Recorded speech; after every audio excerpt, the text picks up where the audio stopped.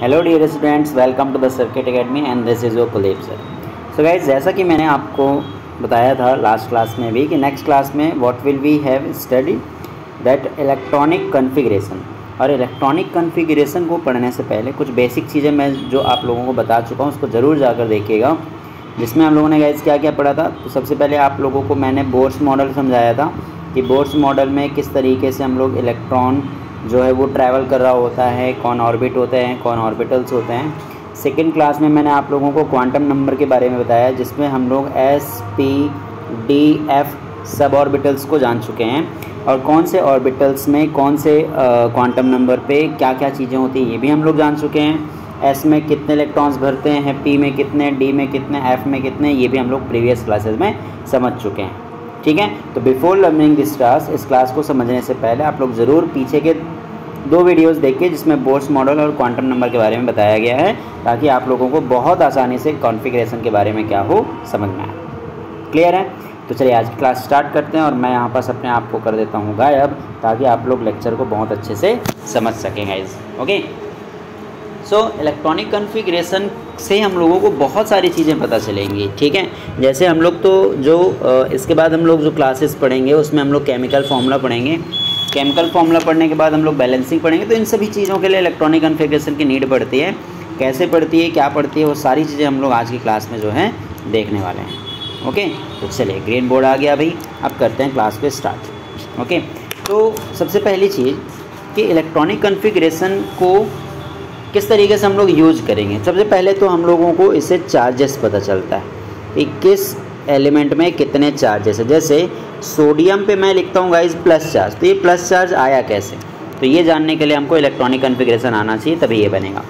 अगर मैं बोलता हूँ कि क्लोरीन पे माइनस चार्ज आ रहा है तो ये माइनस क्यों आ रहा है? है ना? मैग्नीशियम पे भाई टू प्लस क्यों आ रहा है? तो ये सारी चीज़ें हम लोग जो है इलेक्ट्रॉनिक कन्फिग्रेशन की हेल्प से आसानी से समझ सकते हैं। ठीक है? चलो तो प्रीवियस क्लास का कुछ जो बेसिक चीज़ें हैं जो हम लोगों को ध्यान रखनी चाहिए वो मैं अभी आप लोगों को समझा देता हूँ ठीक है? सो हम लोगों ने पढ़ा था कि एन जो है वो बताता है नंबर ऑफ़ ऑर्बिटल्स को। आई होप आप लोगों को याद होगा। सो so, एन की वैल्यू जब वन थी तो आपको याद होगा कि वहाँ पास केवल एस ऑर्बिटल होता है। एन की वैल्यू जब टू आती है तो वहाँ पास एस के साथ साथ पी ऑर्बिटल आ जाता है। वैन एन की वैल्यू थ्री होती है तो ये हो जाता है एस पी डी और एन की वैल्यू जब फोर होती है तो it becomes S P D and F I hope आप लोगों को याद होगा। दैट मीन्स क्या? कि वन में क्या आएगा? एस ठीक है? फ़र्स्ट ऑर्बिटल में क्या आएगा आपके पास? एस आएगा। लेकिन सेकेंड ऑर्बिटल में पहुँचते ही two s two p three s three p four three d four s four p four d and four f समझ में आ रहा है ना? अब इसको जब भी हम लोग इलेक्ट्रॉनिक कन्फिग्रेशन करते हैं गाइज़ तो वहाँ पास एक रूल हम लोग यूज़ करते हैं, जिसको हम बोलते हैं एन प्लस एल रूल कौन सा रूल बोलते हैं guys n plus l rule और ये रूल होता है एनर्जी लेवल को बताने वाला। दैट मीन्स क्या? कि जिसकी एनर्जी कम होगी, जिसका एन प्लस एल कम होगा, उसमें आप इलेक्ट्रॉन पहले फिल करते हो। आई रिपीट माई वर्ड्स कि जिसमें एन प्लस एल की वैल्यू क्या होगी, कम होगी, उसमें हम इलेक्ट्रॉन क्या करते हैं गाइज़ पहले फिल करते हैं। मैं फिर से रिपीट कर रहा हूँ एक लास्ट बार, कि जिस ऑर्बिटल में इलेक्ट्रॉन एन प्लस एल की वैल्यू लेस होगी। उसमें हम इलेक्ट्रॉन पहले फिल करेंगे। अगर इक्वल एनर्जी आ गया, मान लो एन प्लस एल की वैल्यू क्या आ गई? इक्वल तो जो पहले आता है, हम उसमें इलेक्ट्रॉन पहले फिल करेंगे। समझ में आ रही बात? तो अभी हम लोग इसी तक, यहाँ तक देखेंगे और जनरली हम लोग यहाँ तक वर्क करेंगे फोर एस तक। फोर एस तक हम लोग देखेंगे यहाँ पास कि किस तरीके से किसमें इलेक्ट्रॉन पहले भरा जाएगा। तो हमारे पास हैं भाई बहुत सारे ऑर्बिटल्स तो मैं यहाँ पास इसको कर देता हूँ। इरेज और यहाँ पे मैं लिखता हूँ गाइज़ एन ठीक है? यहाँ पे मैं लिख देता हूँ एन यहाँ पे मैं लिख देता हूँ एल और हम लोग यहाँ पास टोटल क्या निकालेंगे? एन प्लस एल जिससे आपको पता चलेगा कि पहले इलेक्ट्रॉन किसमें फिल करना है। ठीक है? और इस एन प्लस एल को रूल को फॉलो करते हुए आपके जो एक साइंटिस्ट थे, जिनका नाम था गाइज़ आफ बाउ ठीक है? नाम याद रखना। आप बाउ तो आप बाउ प्रिंसिपल यही बोलता है कि जिसकी एनर्जी कम होगी, उसमें इलेक्ट्रॉन आप पहले फिल करते हो, और वो किस पे बेस्ड है तो आपके एन प्लस एल पर बेस्ड है।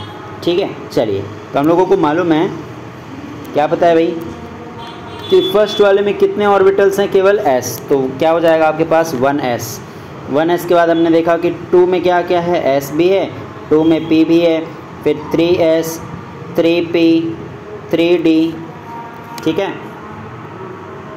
थ्री डी थ्री डी के बाद क्या आ जाएगा? फोर एस फिर क्या आता है? Four p and so on खैर अपने को अभी तक अभी तो यहीं तक का काम है।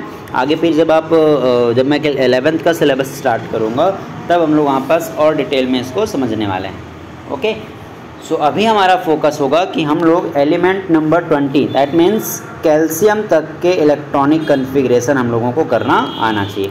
और मैं बोलता हूँ आप लोगों को कहाँ तक याद रखना है? जिंक तक हम लोग करेंगे अभी। ठीक है? जिंक तक का इलेक्ट्रॉनिक कन्फिग्रेशन आपको अच्छे से आना चाहिए और इसमें कुछ एक्सेप्शन है, जैसे क्रोमियम एंड कॉपर तो इसको मैं तब बताऊँगा जब इलेवेंथ का सिलेबस हम लोग स्टार्ट करेंगे।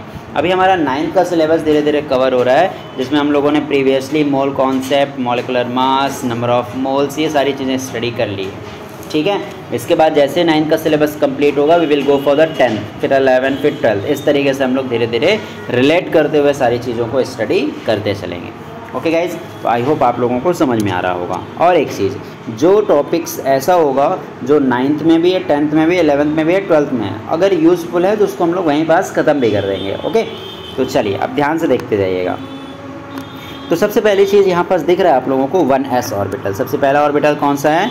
वन एस अगर आपने प्रीवियस क्लासेस में देखा होगा तो एस जो है एस ऑर्बिटल के लिए एल की वैल्यू होती है ज़ीरो पी के लिए कितनी होती है? वन डी के लिए कितनी होती है भाई? टू और एफ़ के लिए कितनी होती है? थ्री तो ये मैंने प्रीवियस क्लास में आपको बताया था. ओके और जो यहाँ पास लिखा होता है, ये वन टू ये क्या है भाई? तो नंबर ऑफ़ ऑर्बिटल्स है, जिसको प्रिंसिपल क्वांटम नंबर बोलते हैं. दैट मीन्स जो नंबर यहाँ पे दिख रहा है वन टू टू ठीक है, यही आपका एन की वैल्यू हो जाएगी. Three three three four four समझ में आया? अब बात है यहाँ पे एस की. तो एस की वैल्यू भी हम लोग क्या करते हैं? यहाँ से पुट कर लेते हैं. चलिए सो so, एस है तो एस के लिए एल की वैल्यू ज़ीरो यहाँ पे भी ज़ीरो यहाँ पे वन ज़ीरो वन टू और ज़ीरो और यहाँ पे क्या आ गया? वन समझ में आ रहा है ना? इस तरीके से हम लोग वैल्यू पुट करिए अब एन प्लस एल निकालो तो यहाँ पे कितना आ गया? वन यहाँ पे कितना आ गया? Two three three four five four और क्या आ गया? फाइव अब गाइज़ अगर आप इसको ध्यान से देख रहे हो तो आपको एक ट्रेंड समझ में आ रहा होगा कि सबसे पहले देखो इसकी सबसे एनर्जी कम है। ध्यान से देखना। ठीक है? आप देख पा रहे होगे कि जो आपके पास वन एस ऑर्बिटल है, कौन सा ऑर्बिटल है जो? वन एस ऑर्बिटल है, उस वन एस ऑर्बिटल की वैल्यू। एक सेकेंड। सबसे कम है है ना? वन एस ऑर्बिटल जो आपको दिखाई दे रहा होगा, उसकी वैल्यू क्या है? सबसे लेस है। दैट मीन्स आप जब भी इलेक्ट्रॉन फिल करोगे, सबसे पहले किसमें फिल करोगे? वन एस में। उसके बाद दिख रहा है टू। ये भी सबसे कम है। उसके बाद सबसे कम कौन सा है? Two s. तो वन एस के बाद किसमें फिल होगा गाइज़ टू एस में।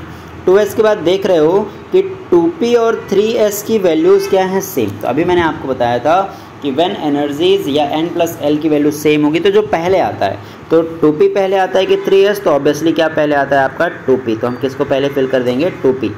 टू पी के बाद आगे बढ़ेंगे तो थ्री एस ही आएगा। अब थ्री एस के बाद गाइज़ आपको ध्यान देना है यहाँ पास थ्री पी की वैल्यू भी फोर है और फोर एस की वैल्यू भी क्या है आपके पास फोर तो जो पहले आता है पहले कौन आएगा गाइज़ आपका थ्री पी तो पहले किसको फिल करोगे आप? थ्री पी को। अब थ्री पी के बाद क्या भराएगा? फोर एस और फोर एस के बाद आपके देखोगे यहाँ पे दो वैल्यूज़ फिर से सेम है। जिसमें थ्री डी पहले आता है फोर पी बाद में। इसलिए पहले किसको फिल करोगे आप? थ्री डी को। और थ्री डी के बाद क्या फिल होगा? आपका four p and so on समझ में आया? तो ये है आपका क्या इलेक्ट्रॉनिक कन्फिग्रेशन का ट्रेंड कि किस तरीके से आप इलेक्ट्रॉनिक कन्फिग्रेशन फिल करोगे। अब सबसे इंपॉर्टेंट चीज़, जहाँ पास कॉन्फ्लिक्शन आया, जहाँ पास चेंजेस आया, उसको एक बार गौर कर लेते हैं। तो क्या गौर किया हम लोगों ने कि थ्री पी तक तो आपका एज इट इज़ है। वन एस के बाद टू एस टू एस के बाद टू पी टू पी के बाद थ्री एस थ्री एस के बाद three p but three p के बाद हम लोग किसको फिल करते हैं? फोर एस को। यही आपको ध्यान रखना है। थ्री पी के बाद क्या फिल होता है गाइज़ आपका फोर एस फिल होता है और फोर एस के बाद भी जब इलेक्ट्रॉन फिल बचा रहेगा तो हम किसमें फिल करेंगे? थ्री डी में फिल करेंगे। आई होप आपको समझ में आ गया होगा।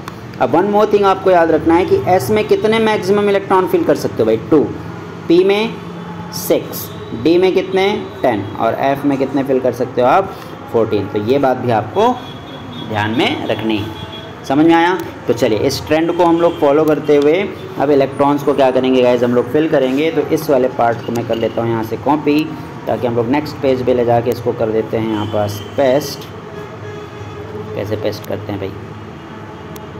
चलिए, ये आ गया हमारा पिछले पेज से, जिसको हम लोगों को यहाँ पास यूज़ करना है और समझना है। ओके चलिए, अब कैसे इलेक्ट्रॉन फिल करेंगे मैं आपको समझा रहा हूँ। दो चार एग्ज़ाम्पल देखते हैं, आप लोगों को बनने लग जाएगा। ठीक है? चलिए, सबसे पहला एग्ज़ाम्पल मैं ले लेता हूँ यहाँ पर सोडियम का।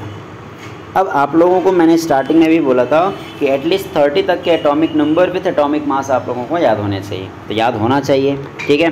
सबसे पहले मैंने क्या ले लिया यहाँ पास सोडियम अब आप लोगों को सभी को पता होना चाहिए कि सोडियम का एटॉमिक नंबर कितना होता है? इलेवन अब भरना है, देखो ध्यान से। अगर आपने बचपन में पढ़ा होगा थोड़ा बहुत तो हम इसको टू एट वन करके फिल कर देते लेकिन अब नहीं।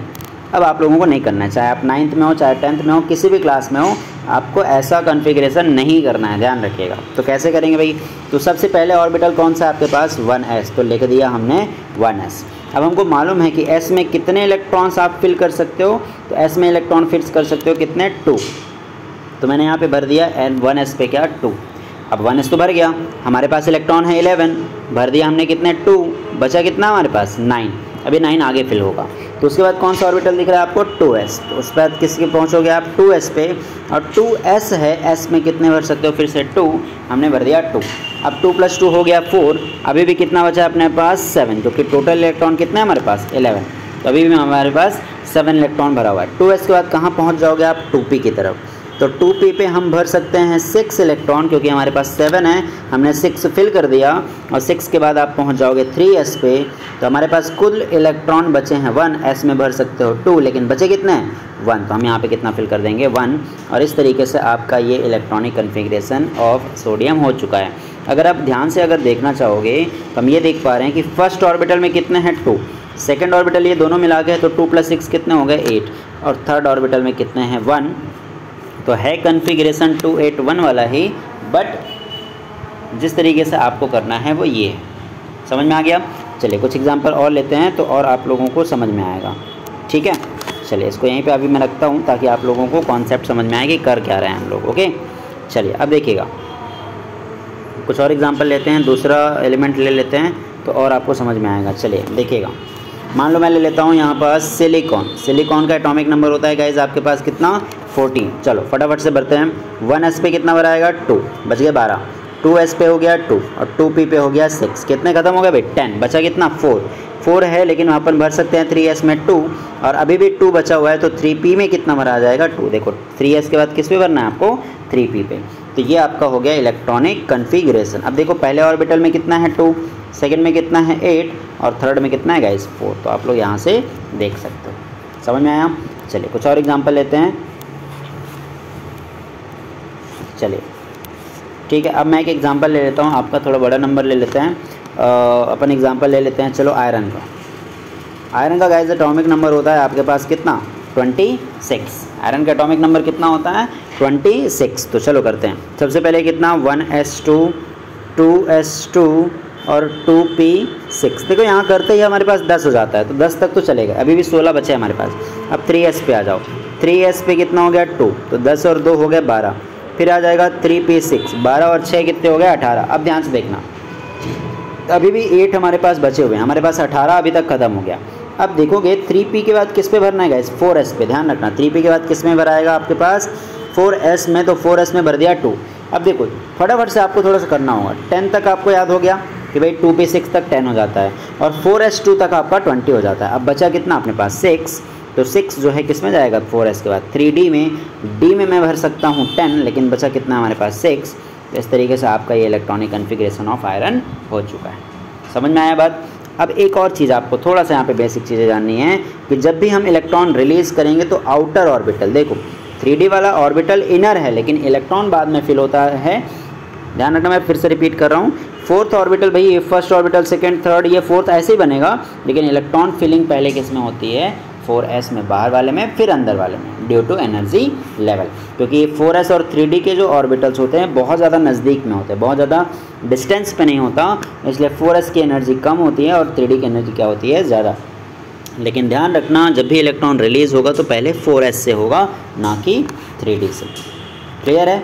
आई होप आप लोगों को अच्छे से समझ में आएगा कि किस तरीके से इलेक्ट्रॉनिक कन्फिग्रेशन आपको करना होता है. ठीक है? अब इसी इलेक्ट्रॉनिक कन्फिग्रेशन के बेसिस पे नेक्स्ट क्लास में हम लोग सीखेंगे कि किस तरीके से आप valency valence electron and charges जो है क्या कर सकते हो गाइज़ फाइंड आउट कर सकते हो। ठीक है? सो so, ये लेक्चर थोड़ा सा हो गया आपका lengthy lengthy in the sense पंद्रह मिनट लगभग हो गए हैं।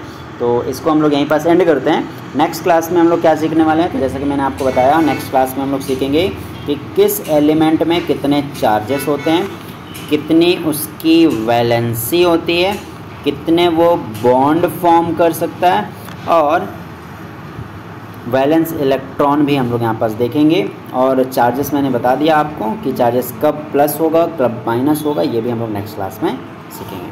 तो आज के लिए बस इतना ही। Thank you